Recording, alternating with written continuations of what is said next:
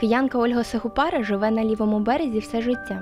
Вона щоденно спостерігає, як розбудовується її район.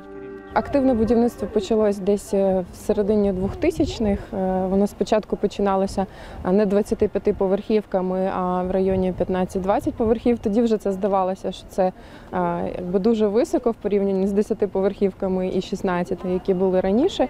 А зараз ми бачимо суцільні 25-30 поверхів. Мікрорайонну забудову, від якої вже давно відмовилися в Європі, хоча вона в принципі розпочиналася там.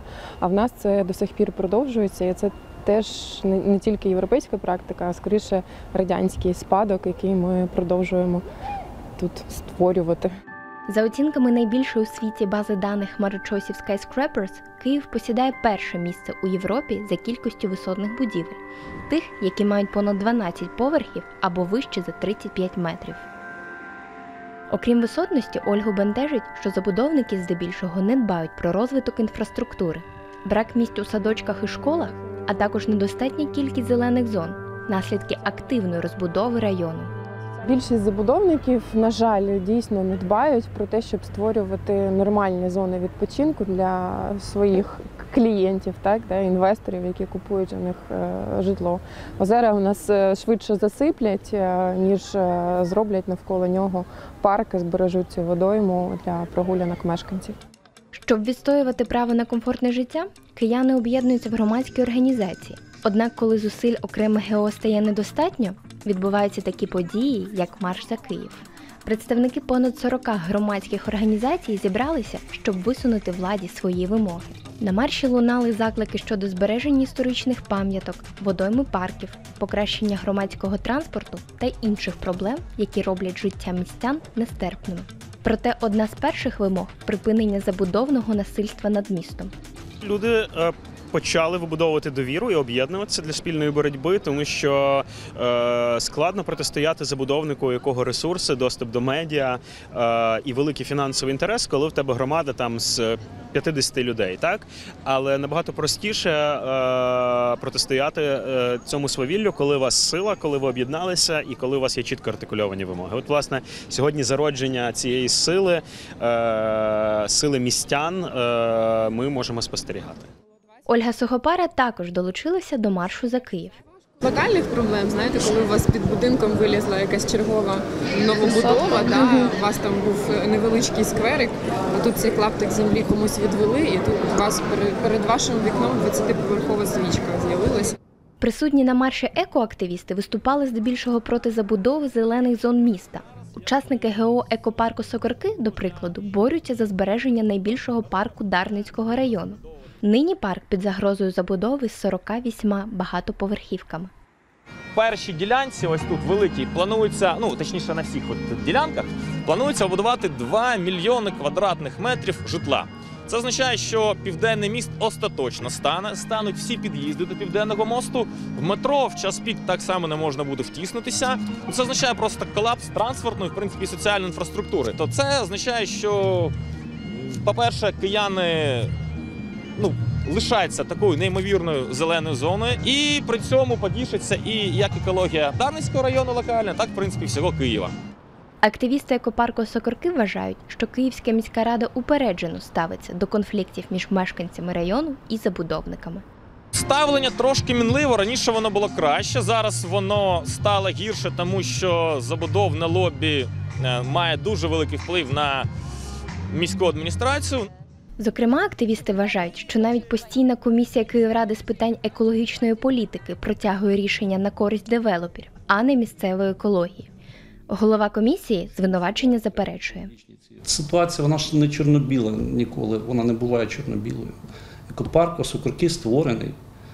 Там, ну, якби, і е, ніхто його не забирав і нічого не відміняв. На комісії минулого тижня ми розглядали, оскільки комісія наша постійна з питань екологічної політики надала протокольне доручення управлінню екології, от, розглянути можливість там, продовження і розширення там, е, заповідання цих територій.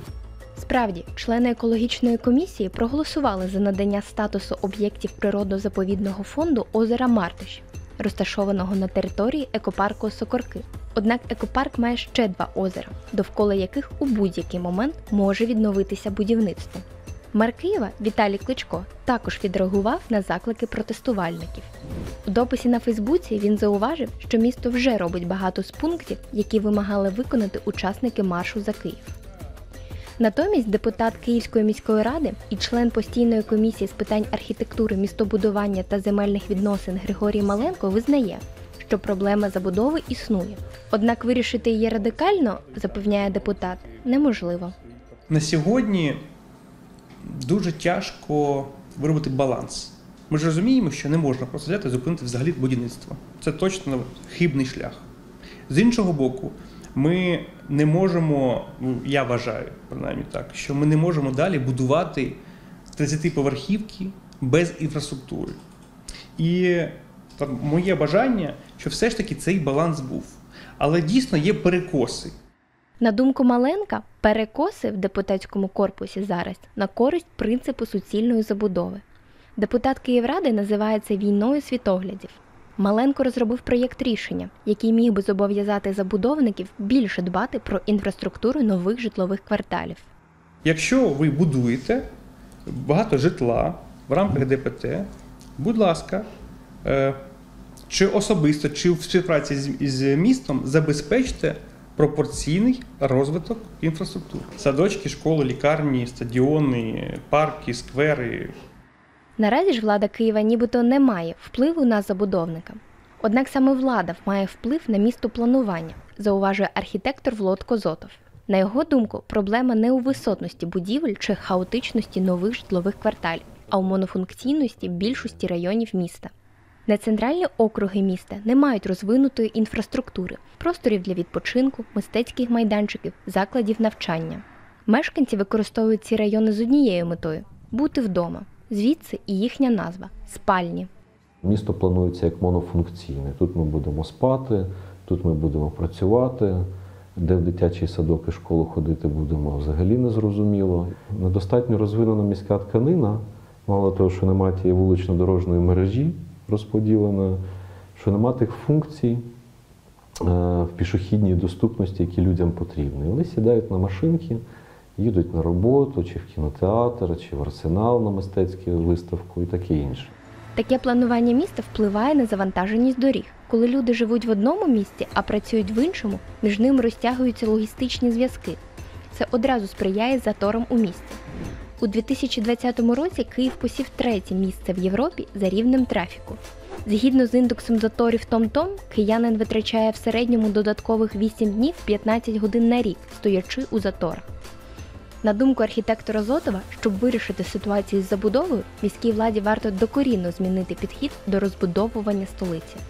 Від містобудування нам треба перейти до містопланування, градостроїтельство. Це абсолютно радянська річ, яка заснована на принципах планової економіки, яка не передбачає жодної участі платників податків в цьому процесі. Міста вже не можна будувати з нуля. От е, ми весь час маємо справу з якоюсь сформованою міською тканиною. Її дуже тендітно треба планувати, аналізувати і планувати. Звісно, Київ розбудовується, як і будь-який мегаполіс. Однак застаріле планування міста позбавляє киян гідного і комфортного життя. Вирішити проблему можна. Наприклад, відмовитися від радянських принципів будування, коли райони з багатоповерхівками виконують лише одну функцію, а решту інфраструктури треба шукати в центрі або інших місцевостях. Проте таке перепланування вимагає детального аналізу територій, а також постійного майданчика для обговорень, де влада, забудовники і містяни зможуть почути одне одного. Принаймні кияни вже роблять усе, щоб бути почутими.